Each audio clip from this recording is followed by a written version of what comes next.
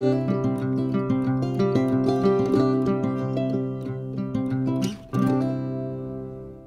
a tutti dal Busket, buon martedì. Questa sera vi propongo un secondo filmato per una seconda recensione di orologi, ovvero il secondo orologio che acquistai insieme al Citizen Super Titanium.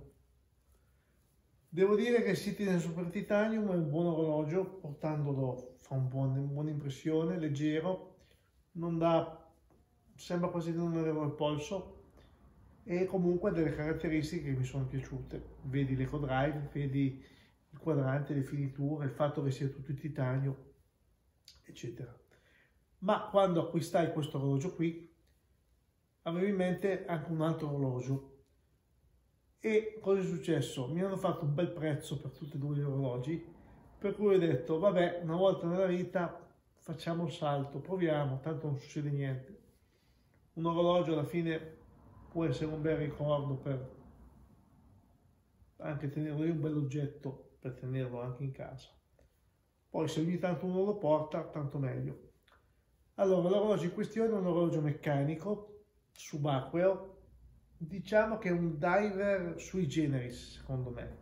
È un diver, ma non è proprio un diver come intendiamo, come si intende. È particolare come linea.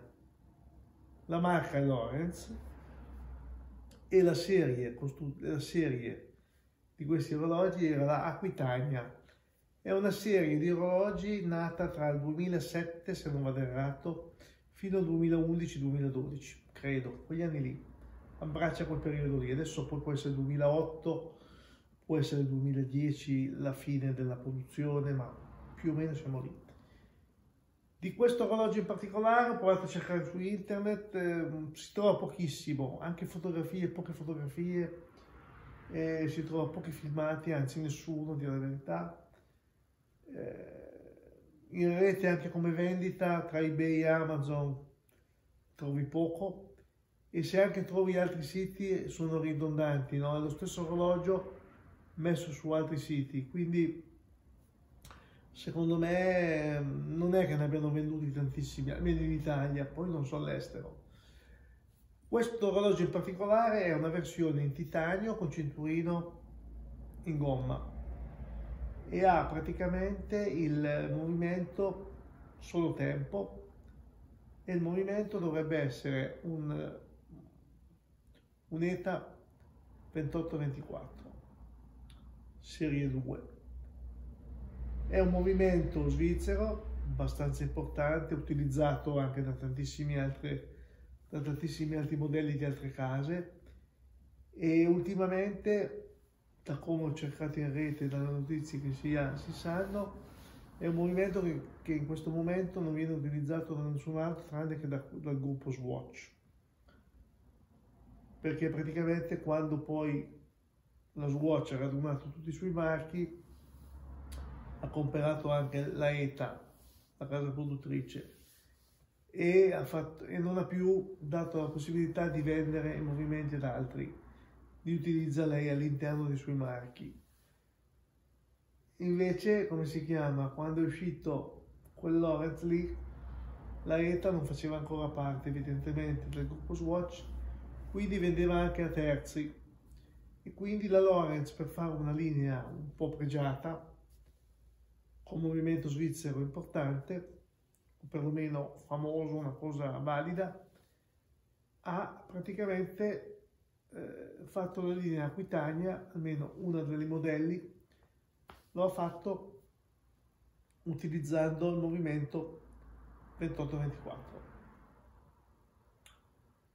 e niente, altro da dire, passiamo alla recensione, almeno da vederla, almeno potete vedere l'orologio come è fatto e eh, chi vuole potrà intervenire, darmi consigli in merito e se vi sono dei dubbi, magari chiarirvi dei dubbi, perché tutto tutto non sono riuscito a reperire. A me l'orologio piace, poi può essere un design discutibile, ma l'importante è che piace a me. Ok, passiamo alla recensione. Ecco qua la presentazione dell'orologio. Dunque, la scatola, come potete vedere, è una scatola nera di legno, fatta molto bene, laccata con la scritta Lorenz. Ovviamente sopra questa scatola la Lorenz forniva anche una copertura di cartone che io ho tolto e adesso vediamo l'orologio. Si apre così, tac. Ecco qua. L'orologio si presenta in questa maniera, c'ha un cuscinetto di materiale tipo velluto e l'orologio è questo qui in questione. Adesso lo togliamo dalla sua posizione, ve lo avvicino. Allora dunque, questa è la Quitania di cui parlavo. Eh, come dicevo, la versione di questo orologio presumo che sia tra gli anni 2009-2011. Eh, questa versione qui è una versione titanio, cassa in titanio completa, con cinturino in gomma. Cinturino in gomma di buona fattura, bello spesso, con eh, praticamente le fibbie, una di gomma e l'altra di materiale, sembra anch'esso titanio lucidato con la scritta Lorenz. Attacco d'artiglione e la cassa come potete vedere dell'orologio è tutta lucida sulle parti laterali mentre la parte superiore compresa la ghiera è satinata opaca. Una lavorazione diciamo lineare nulla di fatta molto bene ma diciamo abbastanza semplice Diciamo che tutto sommato la linea è molto lineare, molto semplice. Eh, la ghiera, la corona della ghiera è fatta sempre in titanio, non è colorata. I numeri sono, penso, fresati e il diametro della ghiera è praticamente equivalente col diametro della cassa non sporge, anzi è leggermente interno. Possiamo vedere la corona vite col marchio Lorenz. Il quadrante è un quadrante abbastanza semplice a livello estetico, anche se comunque elegante, ovvero ha i numeri principali 6, 9, 12, manca il numero 3 perché via la finestrella della data, e poi vi sono delle tacche intermedie per i numeri intermedi delle ore, tutti ricoperti con luminova, comprese le lancette e anche l'indice dello zero della ghiera. Ho già potuto vedere che di notte sì, è molto ben visibile, sempre a patto che prenda tanta luce per potersi caricare, logicamente. Il movimento utilizzato è un ETA 2824. L'impermeabilità dichiarata è 300 metri, come potete vedere. Adesso poi se tutto veritiero, sinceramente non lo so, però presumo di sì. Poi, sempre guardando il quadrante, si può notare una serie di numeri dei minuti posti nella circonferenza esterna del quadrante.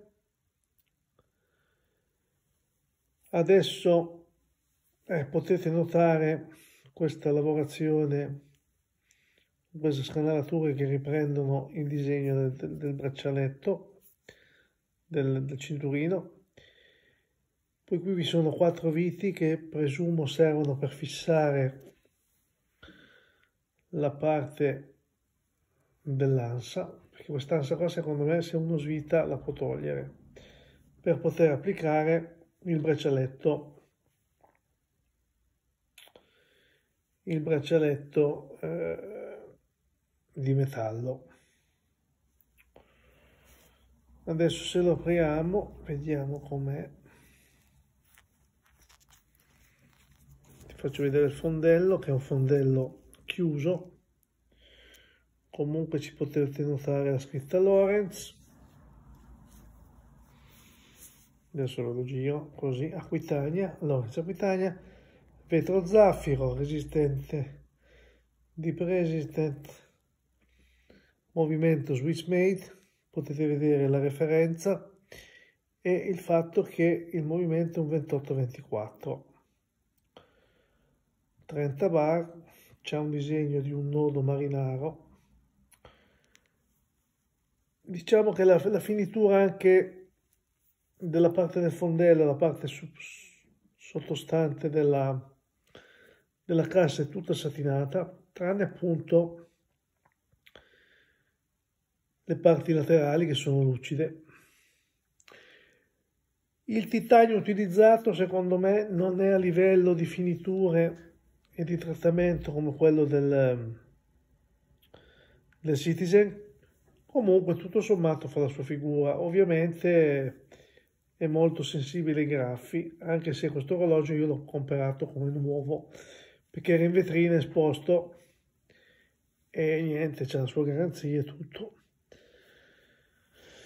Che dire, l'orologio a me non mi dispiace affatto, perché se no non l'avrei preso, e secondo me può essere, diciamo, considerato come un pezzo abbastanza raro della linea Lorenz, anche perché adesso gli orologi dell'ultima serie Lorenz sono belli e nulla da dire, eh?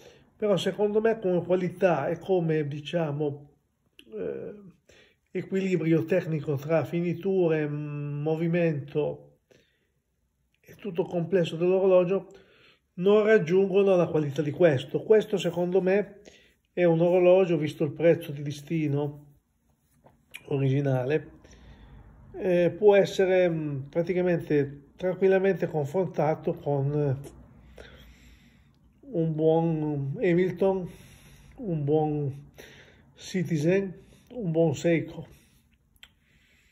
Non ha nulla da invidiare a questi orologi. Logicamente non è un orologio di altissima gamma, eccetera, però per diciamo iniziare una collezione direi che per il prezzo che l'ho pagato può andare molto bene. Come precisione dalle regolazioni fatte è molto, posso dire che è molto preciso.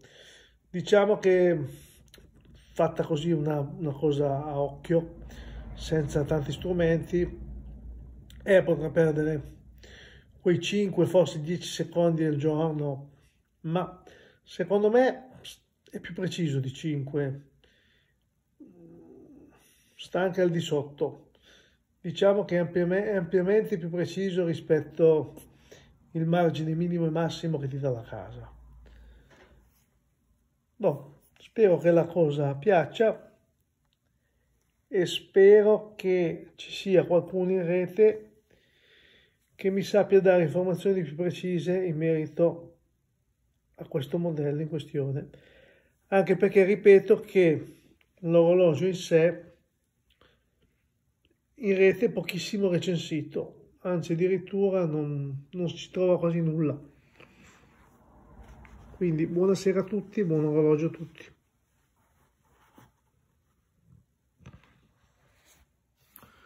Concludendo, eh, posso dire che la recensione è finita così, eh, spero che sia di vostro gradimento e spero di avere, appunto, come ho detto nel video, eh, delle informazioni supplementari sul tipo di orologio. E posso dirvi che prossimamente, se capiteranno occasioni di orologi anche di non proprietà, eh, vedrò di fare qualche recensione, sempre in merito alle mie capacità e alla mia esperienza, che comunque negli orologi è agli inizi, anche se comunque da, da diverso tempo che seguo eh, il mondo degli orologi, quindi comincio a avere un'infarinatura. Quindi buonasera a tutti e alla prossima, ciao!